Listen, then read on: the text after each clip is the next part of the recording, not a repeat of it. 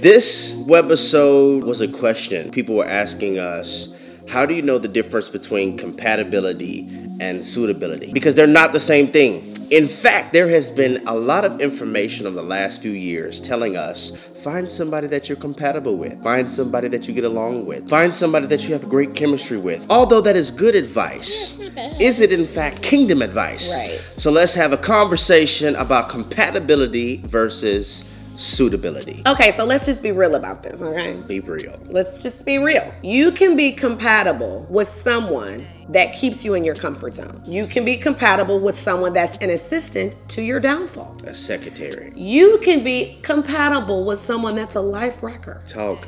You can be compatible with the demon. They, they know what you like. Devils know what you like. They know what you like. You can be compatible with someone that cures your loneliness. They help you to avoid your emptiness. It's not just about compatibility. Listen, because some of us have been compatible with people that were not good for us. You have to understand that because some people in your life keep you at a level that God doesn't want you to stay at. And the reason y'all get along so well is because your drive is so low. Yeah. As long as I have them, I really don't have to have a collision course encounter to how I really feel about myself. So it's not always about compatibility because No. sometimes we look for people who are in agreement with us because some people are congruent with the current you, but hmm. they're not suitable for the next level you. Hmm. And what we don't want you to do is to learn how to exist on a level that's beneath you. So you'll start formulating preferences, you'll start saying you get along with these type of people. Right. God did not cosmically create for you to stay here. That's right. So you have to understand compatibility is a part,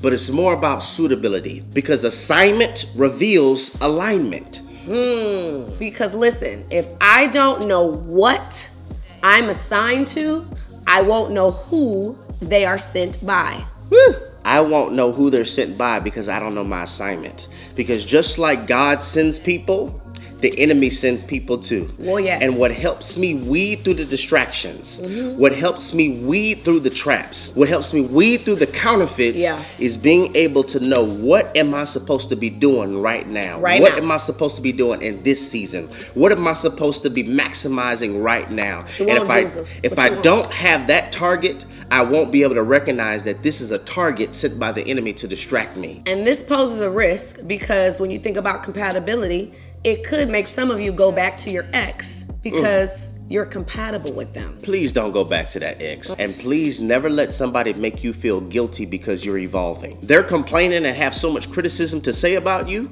because they're compatible with the former version of you, the expired version of you. You have to go back to your old you and old places to be compatible with them. right. You are evolving on the regular. And sometimes an ex comes back just to see if they have access. Yes. Or another season, they come back to see if you're still on the same level, but you're not. Okay, so let's talk about suitability. God always sends you someone that suits his will. The enemy always sends somebody that suits your will. You can't have both. You can't have his will and your will. It's got to be all 100% his will. When we talk about compatibility, compatibility has to do with how personalities and activities match. Whereas suitability has to do with what your assignments are and how your assignments match. When God looked at Adam, he didn't say, It's not good for man to be alone. I will create him a compatible helper. He said, It's not good for man to be alone. I will create him a suitable helper. Right. What is God saying? I need to provide him with somebody who suits my will in the earth. My will is for this man to be fruitful and multiply. Mm-hmm. He could be compatible with a monkey. He could be compatible with a dog. That's man's best friend. You can have fun with a dog. Throw a ball at the dog. Right. Tell the dog to fetch. You can exercise with the dog. Yeah. Y'all running two or three miles. Y'all get along so well. You could watch a movie with the dog and he would just sit there or she would sit there in your lap. The dog can actually bring you comfort. You know? Just if you crying one night, the dog can lick your tears. Yes. But it's a dog. And a lot of us have had dogs.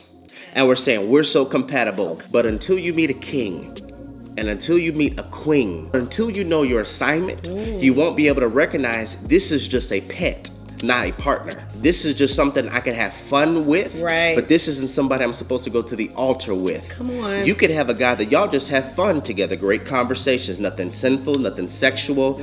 Y'all are just get cool. along great. Just because y'all have friendship chemistry, this does not mean they're a marital partner. This is how we identify that by knowing our assignment. Yes. So the conversation needs to be had. What are you assigned to do? What's hmm. your assignment? And you need to know this before they get here. If you don't, when they arrive, they can take you on a series of detours to take you away from your assignment. When it comes to the conversation of compatibility or suitability, what we're trying to get you to understand is if I don't really know what I'm supposed to do, Yeah. if I don't really have goals, if I don't really have targets, if I if I can't properly define success, because success is relative to your situation. Success for you could be going a month without getting high. Success for you could be paying off some debt. Success for another person could be healing from childhood trauma. Success is relative on your situation. And for me to identify who best suits me is for me to identify what does God want me to do right now. If God wants me to heal, him or her coming along could be a distraction because if they're not a secretary for me becoming a better person and if they don't assist me in becoming healed, Yeah. they're a distraction. Mm. If they blind me to what I'm going through, if they make me avoid my abandonment issues, if they make me avoid my trust issues, Yeah. this is a distraction. So you being able to identify a God sent from a counterfeit is directly tied to what are you supposed to do right now? What are you supposed to be doing in this season? And everybody's season is different. And if you don't know what you're supposed to be doing in this season, then you won't know who is toxic for you in this season. Right. Because I have no target. I have no goal. So important. I have no mission. Yeah. What is my assignment? It don't have to be deep.